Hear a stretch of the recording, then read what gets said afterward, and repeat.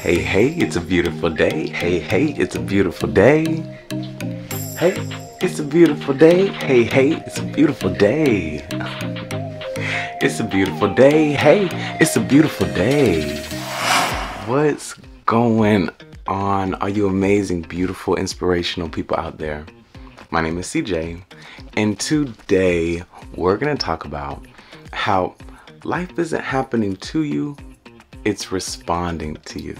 So my hope is that this video will help you see how the way you move through life, the way you react toward life, will create certain situations and happenings in your life. So you'll have more clarity on the way your future will unfold. So you'll have more peace. Okay? So without further ado, let's jump right into this video. So, my friend, my God, my goddess, life is not happening to you. Life is responding to you. So, how are you responding to life? Whenever things go wrong, whenever things don't go the way you want them to, are you upset the rest of your day? Are you cursing people out in your head? Are you, woe is me, I'm the victim, they're in the wrong? Are you happy? Are you standing strong in your peace in the midst of chaos all around you? Are you not allowing certain people's words and perceptions to make you feel certain low vibrations? How are you responding to life? Because that is what you're going to get back. Life is mirroring back to you who you are, how you think, how you speak about others, and how you speak about yourself. Okay, the beliefs you hold in your mind, oh, the world's just getting worse and worse. People are up to no good. I'll never find somebody that truly gets me and loves me for who I genuinely am. You're gonna get that same type of energy back if that's what you're putting out. Okay. So if you're thinking that life is happening to you, oh, these people are doing these things to me, the bank is doing this to me, the government is doing this to me, and you're the victim in all your situations, you're going to continue to be a victim.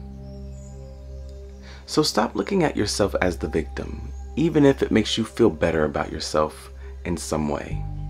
You are on top of the world, even if it feels like you're standing in the bottom of a canyon. Even if it feels like you have the world on your shoulders and you're just, the weight is just so much. You have this going on, you have this going on. Even if you're feeling at your lowest low, you are still a god, a goddess, capable of anything you set your mind to. But because your mind is set in a low vibrational way, that's what you're getting back. So here's some questions I want you to ask yourself. How do I think about myself? How do I talk to others? How do I think about others? How do I react during tough situations? How do I act when I don't get what I want? How do I feel life is going for me? Am I happy with who I am? Where do I see myself in the next year, in the next two years? Am I excited about my future? Do I feel like I'm successful right now? Do I feel like I'm valuable for others? Am I taking care of myself? Ask yourself these questions, my friend, and really meditate on it and reflect on how you are presenting yourself in the world. Not necessarily presenting yourself to other people. How are you showing up in your life? When you go outside, are you breathing in that good prana? are you seeing the world as a beautiful place? Are you caring for the world you're in? Are you littering, not really giving up about you making your world you live in dirty? Do you care about the animals and the creatures that live here, that coexist with us, and without many of them, we wouldn't be here? How are you showing up in this world on Mother Earth's plane? Are you a benefit in your own life? Or are you just in your head benefiting others because maybe that fuels your ego? But yet you are running yourself thin because all the things you're doing for others but not yourself. How are you showing up? And when you really meditate on this, you may come to certain realizations of, wow, I could be doing this, this, or this differently, which would help me see my life in a more positive way, which would then help me live a more positive life. Because the way we see things, our perception, is what we get, is what we manifest. Because you are the creator of your own reality. So, really, reflect on the Creator, you. How is the Creator thinking? How is the Creator acting? How does the Creator view others? This is something you really want to put attention toward. I know you may be like, I don't got time. I got to go to work. I got to do this. I got to do that. I got to do this. I got to go buy this. And that's cool.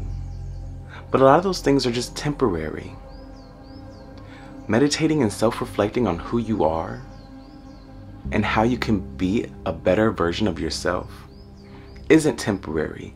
It is something that, with some effort, and not even all the effort you put into your jobs and other people and relationships, effort you're putting into yourself doesn't even have to be as much as you feel like you have to do for others. But you give yourself that attention and you reprogram your mind, you reprogram your thought your thought process, you will be benefiting yourself long term. Because you as the creator will have elevated, will have upgraded itself. You're ready. Okay? You've been ready. But you may have just been stuck in certain programs because of a comfort or because you want to fit in or because you may have a fear of stepping out of your comfort zone. But you are ready to elevate to new levels and start making the money you deserve. Start building the relationships that you deserve. Start feeling the positive emotions that you deserve to feel. Because, my friend, life isn't happening to you, it's responding to you. And if you are not reevaluating who you are, self reflecting, looking in the mirror, and seeing how you react toward things, seeing how you feel about certain things, what are your triggers? If you aren't doing that, you aren't necessarily leveling up in the most beneficial direction. You aren't necessarily uncovering your truth and living a genuine, pure life. And that's okay if you don't want to do this type of work. But I tell you, you may start accomplishing certain goals, building certain relationships and connections, doing certain things and getting tied and bonded in certain projects or whatever. But at the end of all of those projects and relationships and things, you may not feel fulfilled because you weren't operating at your truest, genuine self. Okay? So please, my friend, take the time to get to know who you are, to get to know how you react. Because with that type of work, you become a deliberate creator of your reality. No longer confused as to why certain things are popping up in your life having clarity on the way your life is going, having more peace of mind despite all the distractions that may be around you. You deserve to have this type of mentality. Not only for yourself, but for the people around you. Because it will start to rub off. Okay? You are so strong. You're courageous. You have the ability to tap into your genuine self. Find out who you deeply are and start living a life of pure fulfillment. Start living a life where you wake up excited about the new things. Probably can't even sleep that well because you're so excited about what you're doing, where you're going, the new ideas that keep coming into your mind.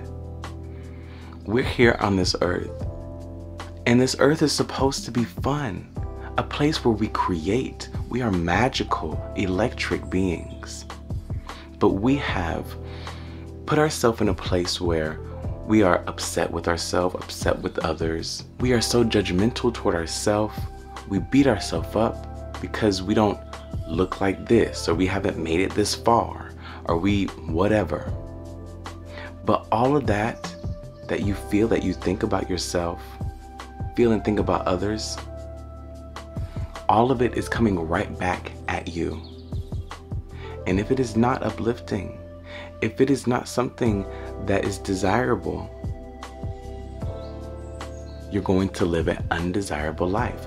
You're going to be living in a world that is not very pleasurable. And you came here to find pleasure, to be curious and learn and have fun along the journey. Okay? Do not sell yourself short. It is time for you to live the life that you've always dreamt of living. It is time for you to love yourself so deeply that no outside person, source, entity, energy can affect you. Okay? You are God. You are the creator of your reality. Okay? And if you think you're anything less, you may be selling yourself short. Much love, my friend, and I will see you in the next video.